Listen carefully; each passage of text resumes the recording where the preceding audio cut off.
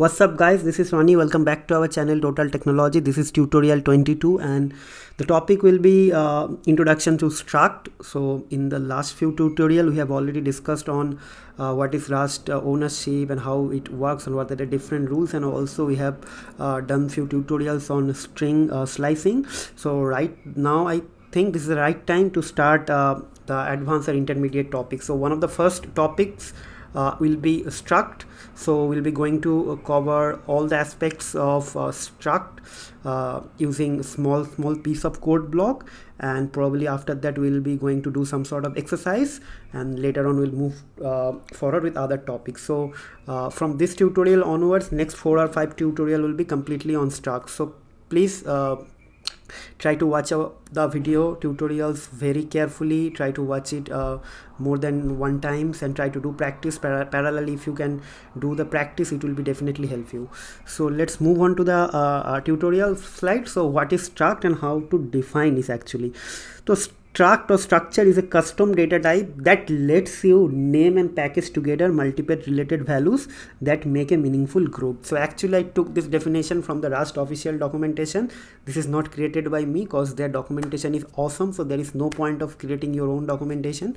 Okay so if you guys are uh, going to uh, like watch out this uh, rust official documentation can uh, definitely i'll highly recommend you to go through it. You will get much more ideas from the theoretical point of view. But again whatever is covered here it is going to be uh, uh, i think uh, more than enough to understand the concepts of struct so what is struct means? Struct is actually kind of a custom data type which will help you to name different sort of uh, variables uh, just high level uh, thing in a uh, single or meaningful group like tuples actually. So in the tuples what we do we can have multiple uh, like variables uh, in a together in together right? So like tuples the the struct can be different types. For example in tuple you can have integer you can have float you can have a string. So for struct also it is same structs are more flexible than tuples. Why it is more flexible tuple than tuples? So tuple you need to uh, follow the order always. The moment you define the tuples and whenever you are going to retrieve or going to do some sort of uh, uh, write or read operation you need to always follow the order. But in struct you don't have to do uh, that thing. Cause uh, the next point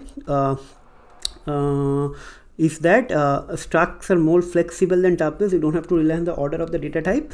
Access the value of struct because in the struct we are going to use the name itself and the value of the thing which we are going to retrieve. So we can use uh, like um, the name itself. For example in in tuple you always rely upon the dot and the order like 0 1 2 but in in struct you can easily call using that uh, dot uh, function definitely but after dot you can rely on the name. Like the order should not be always the same it is not uh, necessarily uh, that you need to follow the order. So let me explain those things then it will be clear. To define a struct we enter a keyword struct and name the entire struct and the struct name should be described.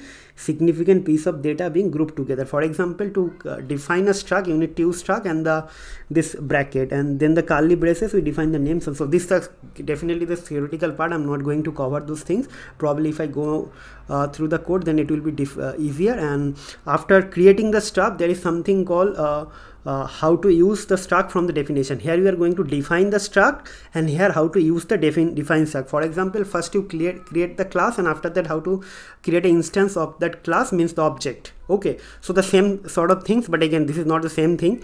I'm just telling you so these things are again theoretical part. So i'm not actually uh, uh, uh, going to cover these things. But later on when the tutorial is finished when you guys are going to watch the video that time definitely it is going to help you. But i'm not going to uh, just go through this dry uh, like uh, theoretical slide. So let's move on to the coding part. Then it is going to definitely help you. So first thing first main. Okay. And like this. Okay. So struct is going to be like this. Okay so you have to use uh, uh, like okay first let me do one thing. So let me create a tuple uh, just to give you guys one sort of uh, example. So t1 is going to be like this. So one two three like this. Or maybe so see we are having uh, like string and number together right so this is called tuples. The same thing also can be possible uh, like he, uh, here using struct. So how to do that? For that you can use str to struct and after let's say you are creating one employee uh, struct. So employee okay. And after that you can use like this. This is very simple. So our struct is uh, like uh, we, are, we are just defining our struct. So now what will happen? So first of all we'll define the name. So it will be string like this okay like this and probably we'll have some sort of id so i underscore d. Okay this is going to be or let's say company. Okay this is also going to be another string. Okay uh, and the last one will be probably let's say id okay and this is going to be unsigned uh, uh, like 64 uh, bit integer so like this. Okay? So this is done. So here in this way we can define the struct. So like whatever we discuss in this part we actually it is here. Like to define struct we enter the keyword struct and the name. So these things are covered here. So in this way we can define the struct. And what are the variable is going to uh, be present and their name and their type will be written like this way. Now how to use this define struct? Okay? Okay uh, struct never okay? So like this so just keep this thing as it is. So probably it is definitely going to help you guys to understand. So now the next thing is that how to use this struct. So use this struct it will be like uh, uh, let okay? So emp equals to like this. And here we are going to put the value of this things here now. Okay so this is going to be uh, okay string. And here we will be going to put the values like uh, my name Ronnie okay? And let's say email will be Ronnie at the rate total technology dot in okay? And can put something over here. So uh, i'm just thinking what could be the id so id let's say give it to one. One is fine right? So we can uh, give it like one and here will be one semicolon. That's it.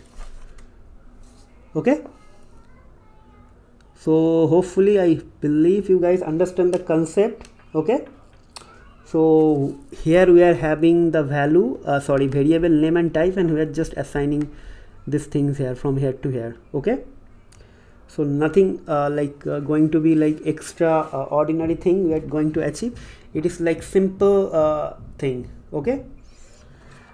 And now uh, if you want to like print something let's say i want to print this value okay this company value okay? So if it is going to be a tuple then you have to remember the order like in which order it is created. But here you don't have to uh, remember that thing what will happen now so print ln like like this this and suppose we want to print the company. So it is going to be like e mp dot company. See this is going to print the company. So let me just save it and let me run it. What happened? Okay run. It's running. See uh, okay I, I actually did something wrong. In company actually I put my email id so there's no problem. So you can create a total technology. This is going to be same always so fine. Just to like technically there is no error but the value just is not doesn't make any sense. Okay total technology. So in this way you can access this thing. The similarly you can access using other two dot notation like this like this. For example it will be emp dot name and here it will be emp dot i underscore d. So let's save it it's created. So what is happening here we are, we are defining the structure here. We are creating an instance of that structure like struct over here. And after that we are creating sorry you are accessing each and every element. So let me just like define the struct.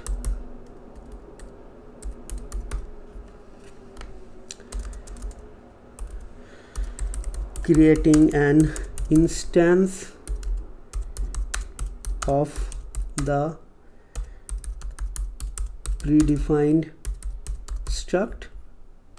And here it will be accessing struct uh, elements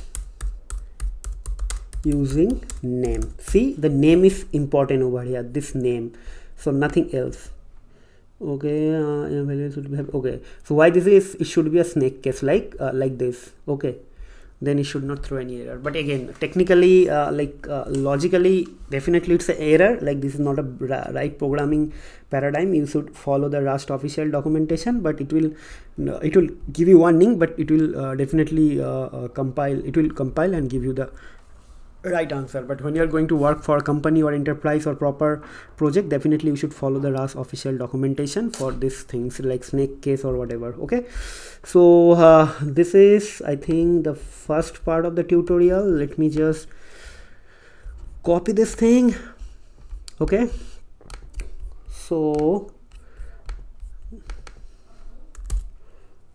um, what I'll do now I'll, make it a bit smaller or else yes so this is done. So guys so let me so this is example one and in this tutorial i think we should we should focus on only one example because now let me explain this thing again.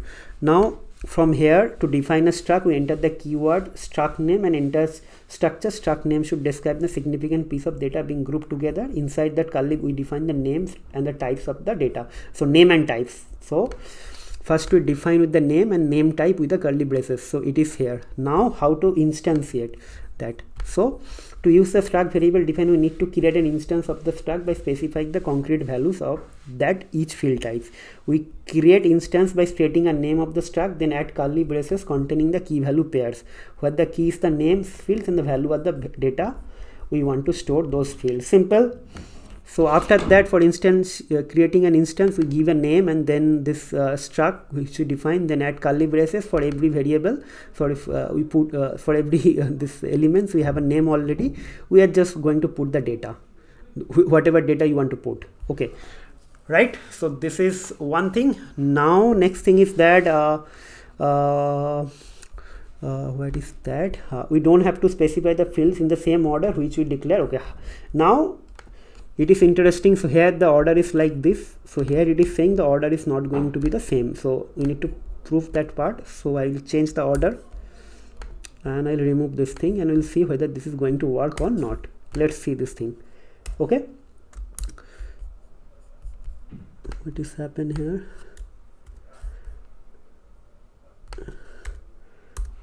Okay. Okay right. Now save it and let's run it see there is no problem. Cause the order is not mandatory over here. So you see that thing as well. Cause in, but in tuples if you do some, this thing definitely you are go going to get some problem. Irrespective of probably will going to get some error. The data type uh, does not match or maybe your programming logic will be failed at somewhere in the future when you uh, like going to do some sort of specific operation. Okay assignment of the value maybe happen but uh, you're not going to get the desired result. If you're going to for example at the second uh, variable in a tuple you have email id and you're going to put uh, like name in that email id field. So it is string so your program or compiler will uh, not be able to understand what is going to happen. Okay but in real world case the name and email id is not going to be same. So the your expected result will not be the same. But here if you see the order is not going to be uh, like impact you because we are going to use the name actually. So name is going to be very uh, name is uh, actually not important. It is the key thing for struct for updating and accessing right? So we have seen here how to uh, like uh, like define a struct how to create an instance of the struct and how to access this element using dot and the name okay? So i believe this is the tutorial for today. Uh, so hopefully i will try to create one more tutorial maybe today or tomorrow because now the long weekends are going on good friday and easter.